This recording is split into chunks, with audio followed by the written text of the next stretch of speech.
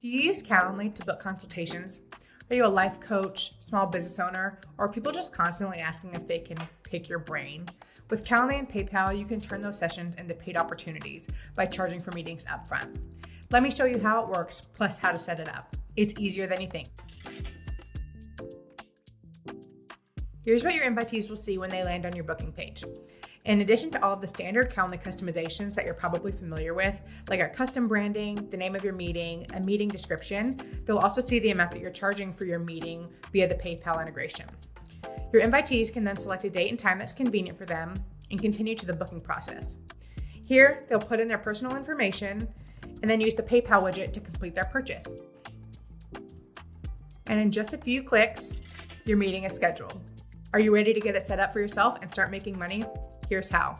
First things first, you need to make sure that you have a paid Calendly account and a PayPal business account.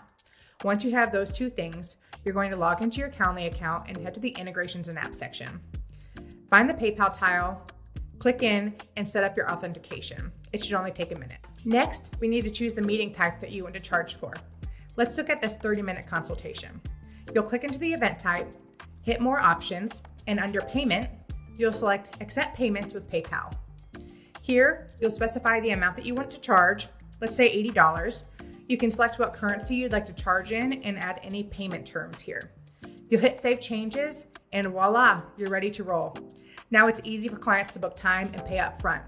If you have any questions about our integration, drop them in the comments and be sure to subscribe for more productivity tips. For now, happy scheduling and happy earning.